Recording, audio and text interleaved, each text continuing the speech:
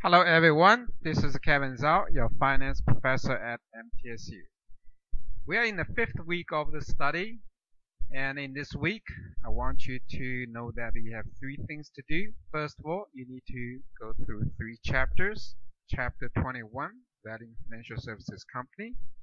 Chapter 22, Valuing Firms with a Negative and uh, Abnormal Earnings. And Chapter 3, Valuing Young and Startup Firms. That's the first thing that you needed to do. Please uh, look at my videos and uh, PowerPoint presentation files as well as reading chapters. Uh, while reading chapters, I want you to pay a lot of attention to those illustrations. And the second, uh, you have uh, exam 3 ready uh, for this week.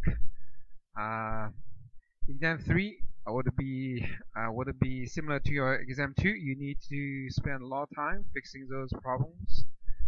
Uh, I would expect you to spend more than 5 hours on your third exam as you did in your second exam. And on average the class did a really good job on your uh, second exam.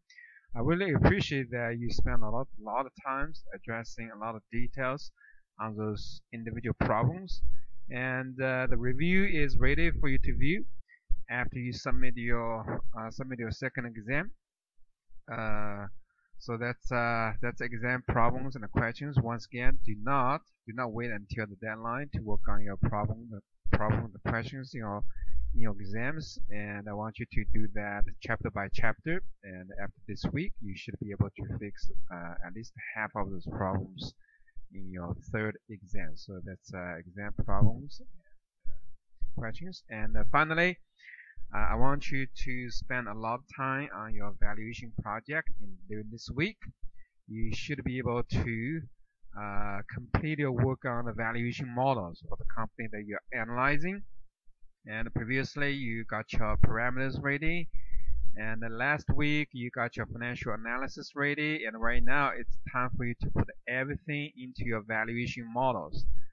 Uh, in your valuation models, I want you to use at least two approaches. The first one is cash flows, uh, cash flow based models, and you can use free cash flow to the firm model or other models such as DDM or uh, free cash flow to equity model. And typically you want to use two-stage model. And the second I want you to also uh, check your valuation by using multiple multiple methods such as P ratio, PB ratio, EV to EBITDA ratio, so on and so forth to double check if your previous valuation is reasonable or not. And typically, uh, a professional analyst will use multiple methods to come up with the estimation of stock prices and then they will assign weights on each every methods to get an average estimated stop price. And I and I want you to do that uh, in a similar fashion. After you got your valuation uh, valuation uh, model ready uh, got your estimated stop price one additional thing that you could do is called sensitivity analysis. And the sensitivity analysis gives you sense on how your target price will change depending upon the change of your key input variables. Such, uh, for example, if you assume that equity risk premium equals 5.5% in your valuation model, then what you could do for sensitivity analysis is that you assume that your uh, equity risk premium uh, can go as low as 5% and uh, go as high as 6.5%. So for each uh, each half percent change in your ERP, uh, you wanted to see how your target price changes as well. And the other variables you wanted to uh, do a sensitivity analysis would be the growth rate, and the growth rate is very uh, very critical uh, in determining your stock prices. And sometimes you set your terminal growth rate as 3%, but uh, why not trying to see what the stock price would be if terminal growth rate uh, change it to 2.5%, 3.5%, so on and so forth. So that is a sensitivity analysis that you want to, uh, that I want you to do after you complete this uh, valuation models. Right? And if you use multiples, if you use multiples, I want you to uh, I want you to do two approaches. First one is regression approach to see what reasonable multiple it should be, such as PB ratio, P ratio, based on cross-sectional comparison. And the second, I want you to focus on uh, fundamental approach uh, to see what or what a fundamental P ratio should be based on those uh, fundamental variables such as payout ratio, growth rate, cost of equity, so on and so forth. So that is your uh, valuation work during this week. After this week, you should be able to wrap up your uh, valuation project. Next week, uh, during the sixth week, I want you to have a draft ready for your valuation project. If you if you could send it to D2L, then I can help you to look at it and I will give you some suggestions on how to improve your evaluation project. Although it's not uh, required and during the last week you're going to present your evaluation project during the class. And you need to submit three files, valuation project in Word file, it's a written report, and then the Excel spreadsheet demonstrating your evaluation work regarding parameter, uh, cost of equity, cost of capital, growth rate estimation, terminal value, as well as your valuation models. So that's uh, Excel spreadsheet that you should uh, submit with your uh, valuation part. And finally, the PowerPoint presentation file assist your presentation. So that's a valuation project. So if you haven't done a lot of work for your valuation project, I would say it's, it's still not too late. You have three weeks to to to complete this uh, valuation project and I want you to work very diligently with your teammates on this project it's uh, very important okay uh, this week uh, we began to discuss how to apply the principle that we learned during the previous weeks uh, to analyze some specific types of companies and we have five chapters to cover uh, for the last stage of the class, uh, which which which we will do uh, during this week and the next week. And this week we will cover three different types of companies: financial services companies, the companies with negative and uh, abnormal earnings, as well as the young and start startup companies. And next week we will learn how to value private firms and uh, distressed firms as well. So those are five specific types of companies that we are going to uh, evaluate based on the principles, mechanisms that we learned during the previous weeks. If you have any questions, send me email or visit my office uh, during my office hours. And I'm always here to help you to achieve your academic success in this class. Okay, Let's start with uh, let's start the discussion of chapter 21, valuing financial services companies. Okay, and uh, uh, I mean, why why financial services company? First of all, it's very important because uh, when you look at the sector distribution of U.S. U.S. Uh, stock market, you will find that the financial sector is one of the largest one. And uh, if you if you utilize Standard and Poor's categorization of sectors. Then you will see 10 sectors in this economy. And uh, the largest three sectors are the first one is information technology, which account for about a little over 20% of, of, of equity value on the stock market. I would say information technology account for more than 20% of the US economy. Followed by, followed by uh, healthcare sector, healthcare sector is pretty big, about 13%, and the financial sector about 15% as well. So financial sector is a very important sector in this economy. Although the trend is that the the the weight of financial services in this economy is declining gradually back to year 2000, uh, year, year 2007, year 2008 that weight actually was as high as 20%, but right now it declined to 15%, but still a very significant sector in uh, in this economy and on the stock market. So financial services companies are important because uh, the weight is pretty high in this economy. And also the financial services companies are very unique comparing to other types of businesses. And here are major types of financial services companies. They are uh, commercial banks such as Bank of America, Wells Fargo's, or First Tennessee. They they they they take deposit from depositors and uh, lend money to businesses and households as well. So that's a commercial banking business. And the second type of business is insurance company, such as property insurance company, vehicle insurance company, and healthcare insurance companies. And the third type of financial service company are investment banks. Investment banks uh, do three basic type of businesses. First of all is uh, it's called a corporate financing business or investment banking business. They help corporations to raise capital through uh, debt issuance or stock issuance. And investment banks also do trading businesses for their for their clients. It's called a brokerage business. And if you have brokerage account, then you needed to set that. Uh, you need to open.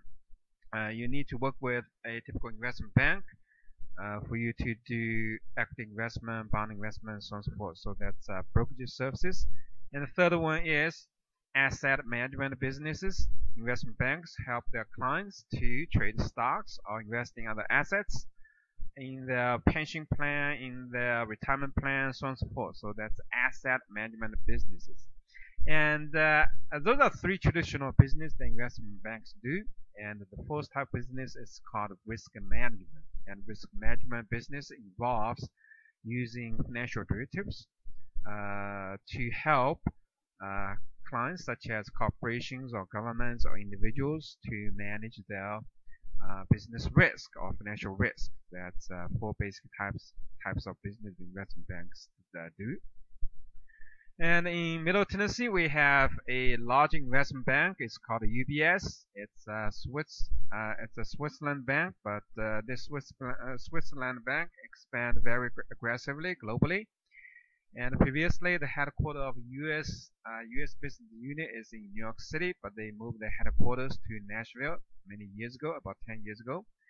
And uh, they recruit MTSU, MTSU students uh, aggressively during the past. And uh, if you find a job at UBS, you will find a lot of alumni from MTSU. Uh, they do very typical investment banking business. And the first type of uh, fourth type of uh, type of financial services company are so-called investment companies.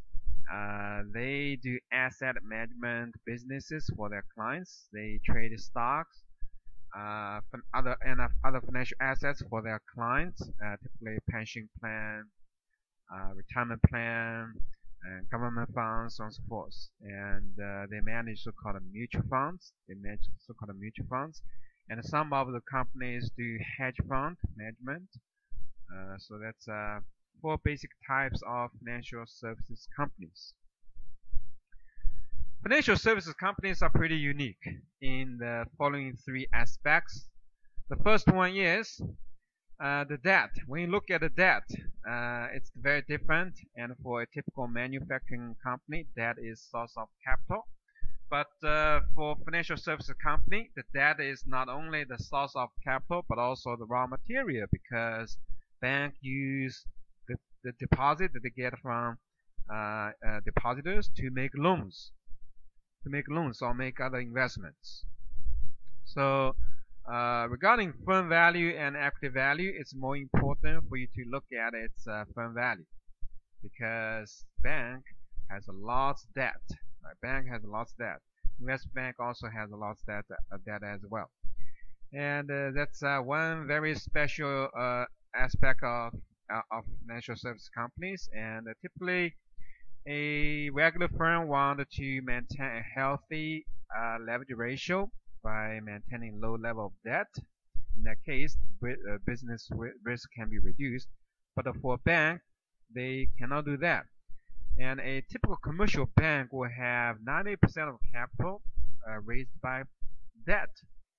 And uh, the more debt that they have, the more profitable or more sales of their businesses. If company wanted to reduce debt, that is uh, that is bad because they will uh, they will make their uh, make their sales to decline, profit to decline, so on and so forth. So that is is uh, is a source of the raw material. They use debt to make loans. That's one very unique aspect of financial services companies.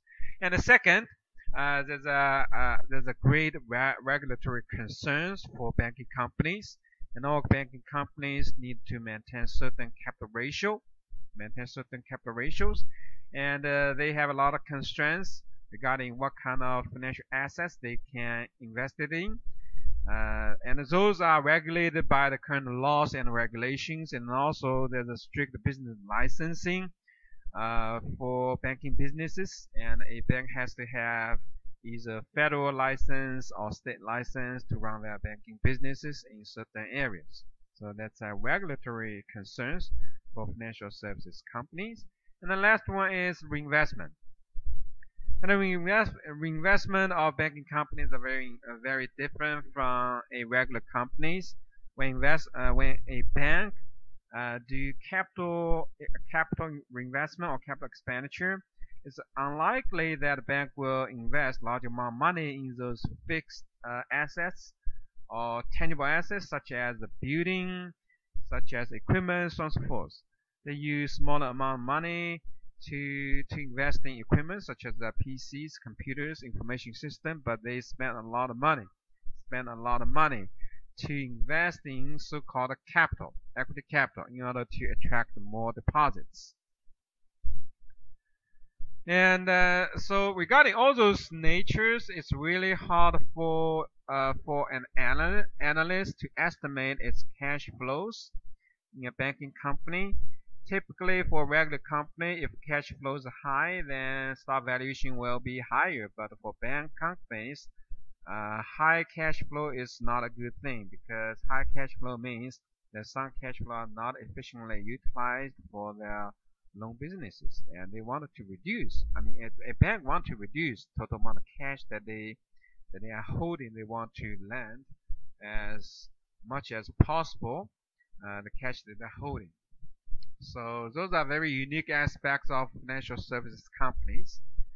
Now let's take a look at the valuation uh, framework. Uh, we have three major type of methods uh, related to cash flow based model, FCFE, FCFF, and uh, for banking company, FCFE is a better choice because bank has typically large amount of capital raised by debt and uh, so FCFE could be a better choice. Uh, doesn't mean 100% uh, accurate, but the better choice than FCFF.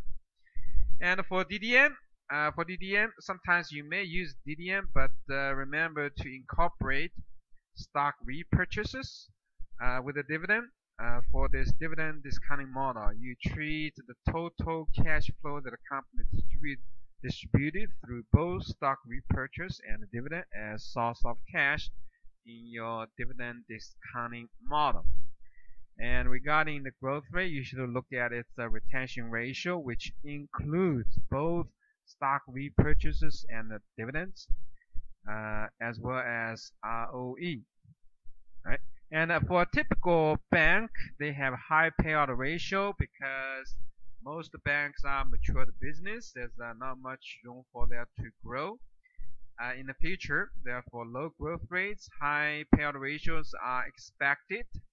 And uh, regarding beta, uh, you wanted to look at its fundamental beta based on its uh, leverage, as well as operating uh, financial leverage and operating leverage as well.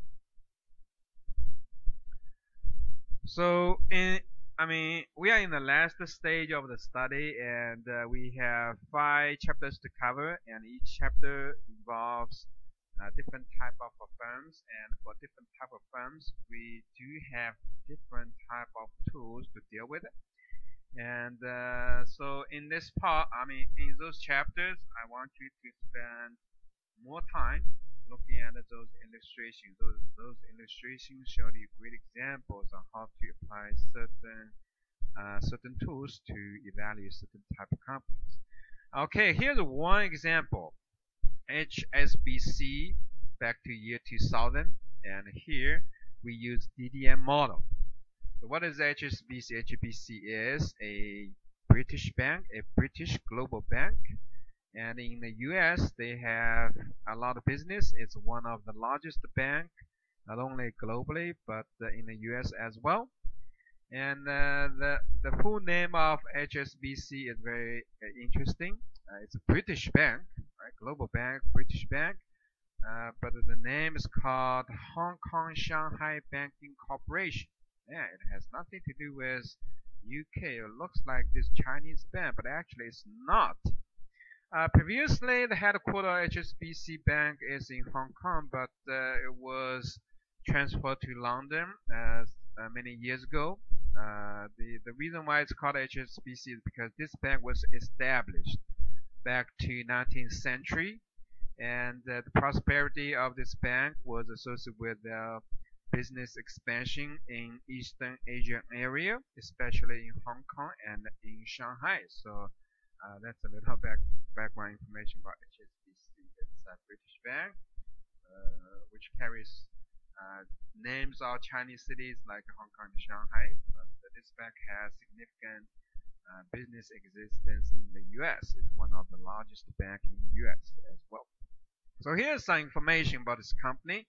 EPS 74.8 pences back to year 2010 and uh, the currency is UK currency.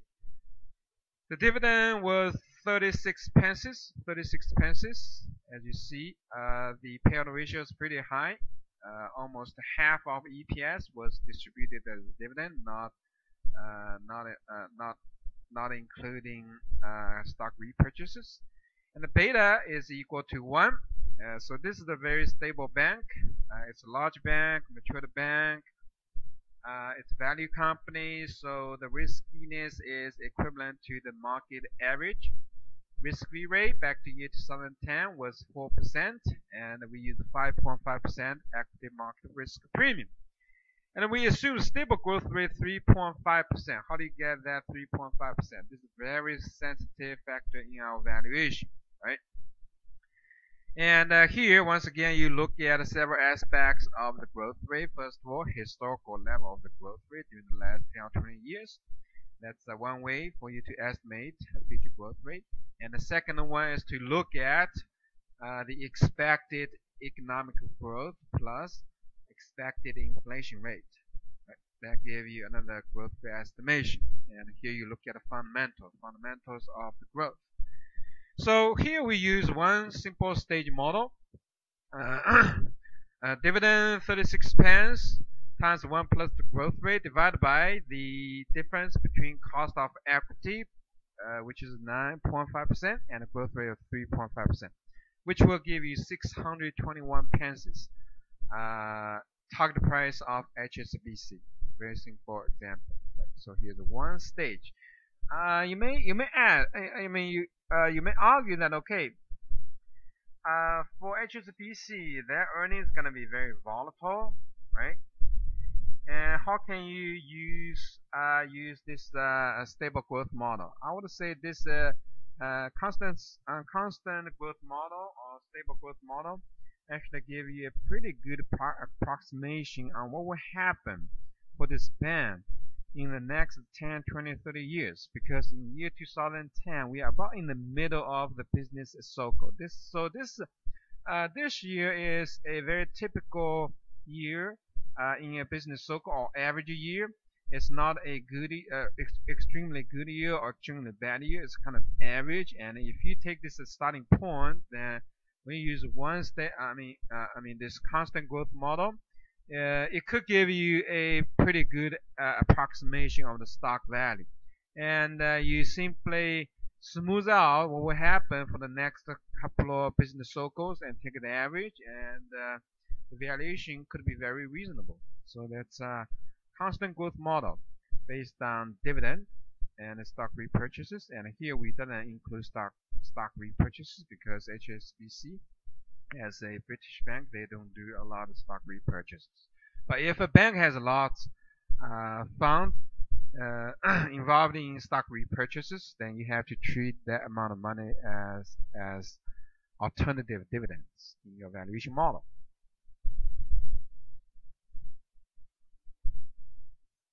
Now let's take a look at FCFE model. FC, FCFE model is based on free cash flow to equity, but uh, uh, this model is a little challenge because uh, it sometimes is really hard for you to estimate capital expenditure in order to uh, in order to estimate free cash flow to equity. Right. And regarding them, uh, they have two main areas where they do capital expenditure, and and uh, the most important one is the investment in reg regulatory capital because if a bank wanted to attract more deposit, they needed to invest in the regulatory capital first. So if they don't do equity investment, then there's no way they can they can attract more deposit because that's required by the law. They need to maintain certain level of regular regulatory capital ratio in order to comply with the current regulation. And the second area for the uh, for a bank to do capital uh, capital investment is hiring people. Hiring people. That's the most important investment that uh, financial services companies are invested in. They don't do a lot of investments in physical assets. I mean, they don't need a physical assets. If they need a build, uh, if they need a building, they rent it uh, let's say hey you see uh, you see uh, uh Bank of American uh, big logo in one of the tallest building in Nashville. So you a lot a lot of people may say hey Bank of America own that building but, but actually they don't. They don't even own one floor of that building. They simply put their advertisement uh, billboard on the top of the building. And that's that's not the main area that they make the investment, they make investment in human capital. That's the most important asset that they have. Uh, talented financial professionals working for bank. That's the most valuable asset that, uh, any bank has. Uh, the I mean that's uh, that's a human resource uh, investment, which is another important area where bank make capital investment. So let's take a look at a two-stage model for Deutsche Bank in year 2009. So where's Deutsche Bank? Deutsche Bank is German, is a, a German bank. Uh, it headquartered in Frank Frankfurt in Germany, but uh, it has global expansion into other areas. It's one of the largest banks in the US as well. Uh, let's take a look at what happened in year 2008 because uh, we suppose uh, in year 2009 doing evaluation for this bank. Uh, in year 2008, this company had 3.8 billion US dollar losses. Uh, it, it paid a dividend. Uh, it paid a dividend. Uh, the beta is 1.16, slightly higher than market average. Uh, given risk-free rate of 3.6%, active risk premium 6%, we can estimate its cost of equity. And we we we project that net income will bounce back to 3.147%, uh, 1. Uh, 3.147 million US dollars in the next year when economy recovers and when economy expands. And ROE will be 10% with a 4% growth rate for the recovery time period between year 2009 to year 2003. So growth rate of 4% for the next five years. And uh, long-term long-term growth rate will be 3% starting year 2014 and the reg regulatory capital ratio would be 10%. It's required by the law. Uh, that means for each one dollar of equity this bank has, they can attract nine dollars of deposit, and based on that ten dollars, they can they can do their lending businesses. And uh, uh, I mean, current beta is 1.16, but uh, we do a little normalization. And for a typical large bank like Deutsche Bank, we would say, hey, bank will go towards 1 go towards 1 and we do cost of equity estimation based on uh, this uh, this this normalized beta. Okay here is the table that we utilize to do this two-stage model like any uh, problems that you solved in your second exam and uh, the third exam uh, as well. And year 2008 is is is year zero. And we have three years of high growth time period 09 to 13 five year high growth time period with a 4% growth rate uh, I mean, for a banking company, even when it has high growth rate, you shouldn't get, you shouldn't do a a double-digit number because banking business is, is really mature business. So first of all, we look at the total assets. Uh, total assets uh, in year 2008 is 312 billion US dollars. Oh, okay, this is the big bank. The total assets they have is 300 billion US dollars. And then we expect that these assets will increase uh, based on 4% growth rate each every year for the next five years. And then we look at a capital ratio to see what's the regulatory, regulatory capital that they need. And uh, regulatory capital uh, number will change, and the different the year-to-year -year difference represents the the capital investment that that, uh, that this bank need to make to meet this regulatory uh, capital requirements. So in year 2009, they needed to invest a little over one billion US dollars uh, to to meet this regulatory requirement, and this number increases year by year. Uh, by year 2013, this bank need to uh, uh, reinvest 1.3 billion dollars to comply with this regulatory capital uh, regulation. And ROE, ROE, uh, ROE currently is negative, but we expect that ROE will increase to 10% in year 2013 from 9.5%. And uh, let's say this process is a gradual process when economy recovers and expands. That's a, a reasonable, uh, reasonable assumption. And then we multiply ROE with uh, the capital that will give you the expected net income. And from net income, you're able to calculate this FCFE. And uh, you simply minus regulatory capital in, uh, investment, assuming there will be uh, basically zero reinvestment in other areas such as such as the human resources or equipment, so on and so forth. I mean, of course, they do some investment in that area, but but uh, the magnitude of those investments are basically zero re uh, relative to the uh, the investment in this uh, regulatory capital. And um, net income minus regulatory capital uh, reinvestment will give you an, an approximation of free cash flow to equity. Right? And uh, you have five year free cash flow to equity, and you can calculate uh, free cash flow for the firm in uh, year 2014, which is the beginning year of the second stage.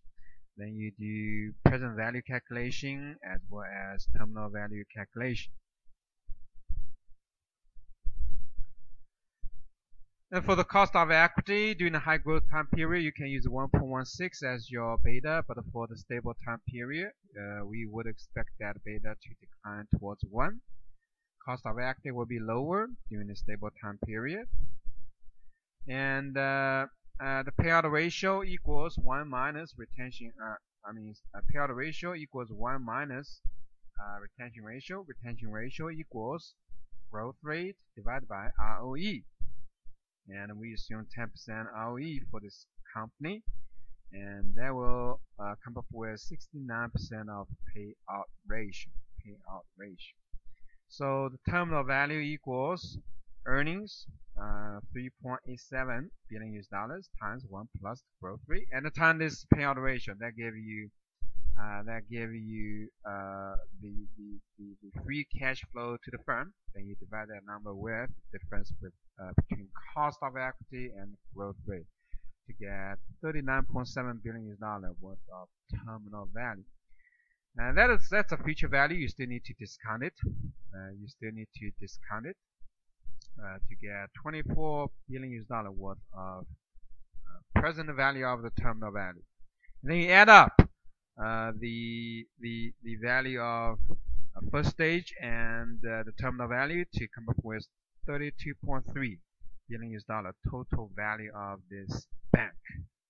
Then divide by number of shares outstanding, you get 55.3 uh, 55.5 euros of target price on this European bank called Deutsche Bank. And through this process, I want you to pay attention on how uh, how you could uh, find out FCFE and the main part of FCFE is net income and regulatory capital reinvestment. So that's a very unique aspect of bank if you use free cash flow to equity model. If a bank actually make a, a tremendous amount of reinvestment uh, on human resources or uh, information technology, then you need to add that investment uh, investment into your into your analysis as well. So that's uh, two stage two stage estimation of Deutsche Bank.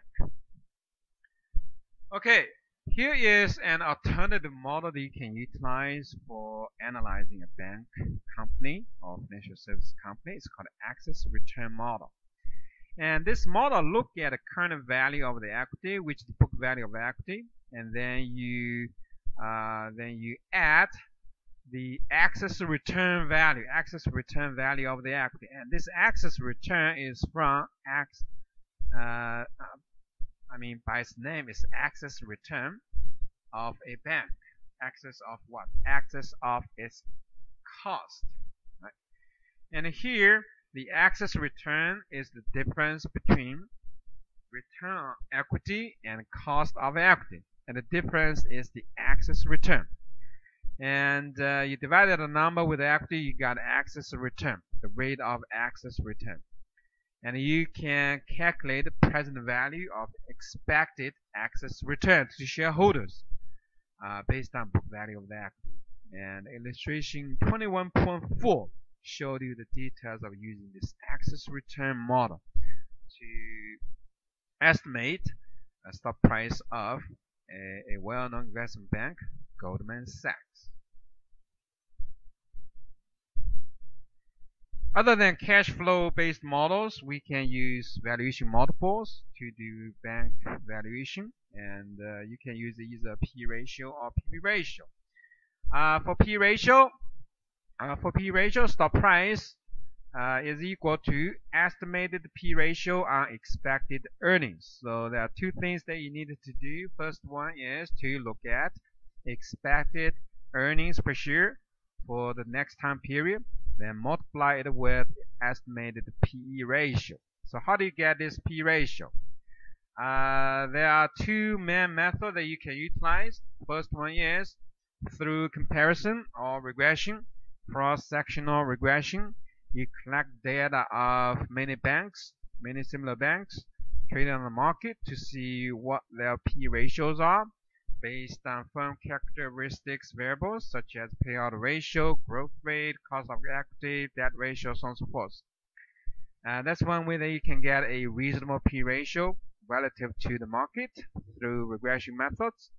And uh, I mean, when you do regression, you need to be very careful because here, the regression that we are going to do is so-called cross-sectional regression. You shouldn't do any time series regression. Let's say you regress P ratio uh, of a certain bank during the last 20 years, trying to find a trend. And I, and I would say that's not a correct method. What you need to do is, is so-called cross-sectional regression. You regress P ratio of many similar banks at one time trying to figure out what's a reasonable p ratio for the bank you are analyzing. That's uh, a regression method for p ratio. And the second one is fundamental p ratio. You look at payout ratio, you look at cost of equity and growth rate. And the cost of equity has something to do with the beta. And uh, you do p ratio uh, estimation based on its fundamentals uh, P ratio equals payout ratio times 1 plus G divided by R minus G. That is a one uh, constant growth constant growth model, or you can use two-stage model to estimate fundamental P ratio, and we learned that during the previous weeks. So that's uh, PE multiple method, and for banking companies, if you are getting a P ratio of 40, you need to be careful because bank bank companies are mature businesses it's more common for you to uh, find a P ratio between 10 or 15. And even for the well-managed comp uh, banking companies, you might find that when even when economy is hot, their P ratio tend to be low. as 10 or 12 or as high as 15. 15 was considered as a high P ratio for a bank, right? And uh, so, uh, yeah, uh, for banking company, keep in mind that uh, most banking companies are large banks, are mature banks. There's not much room for their for them to grow. Therefore, a low P ratio is pretty common for a banking company.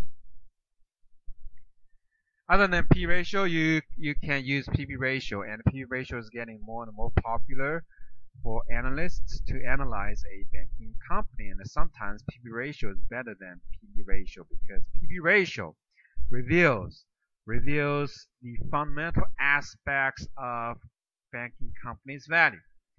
And uh, PB ratio can be decomposed into uh, the, uh, the the equation that you see here.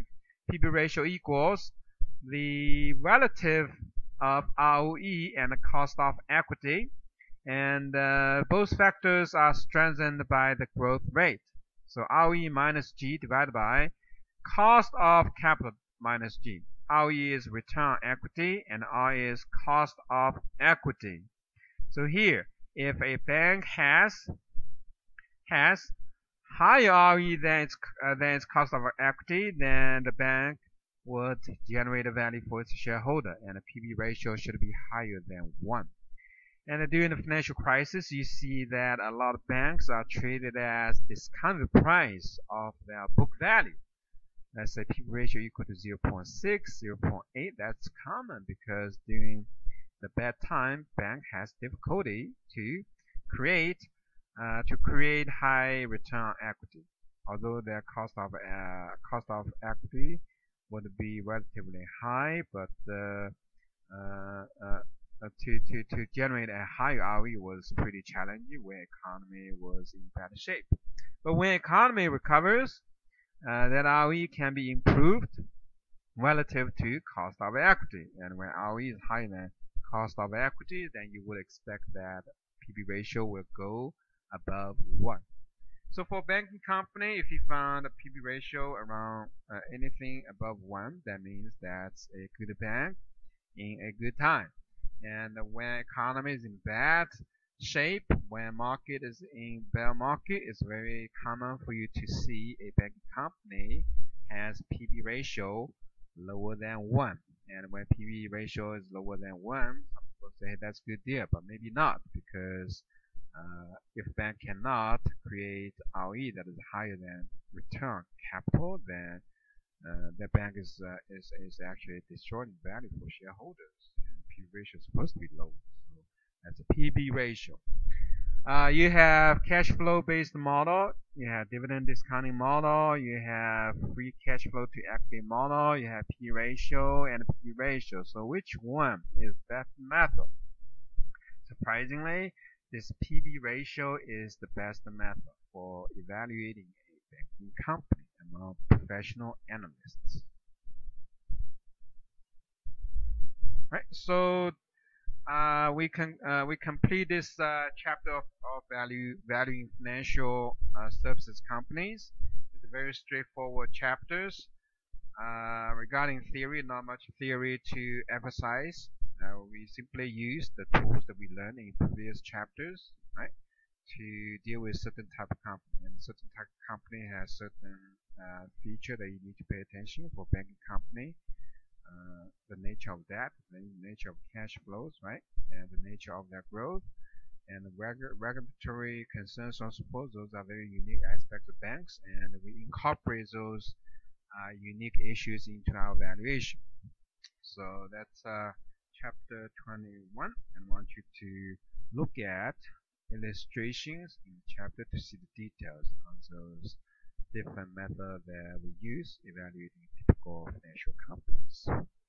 I hope you enjoyed these videos and uh, I think uh, overall our pace are slowing down, not as intensive as we went through during the first couple weeks, but uh, still we have a lot of work to do and right now we are in the fifth week of the study and it's time to it's time to accelerate a little bit and we are going to rush to the end towards your academic success in this class once again I'm Kevin Zhao. I'm here to help you guys to achieve your success in this class.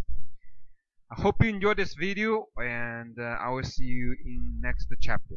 Thank you.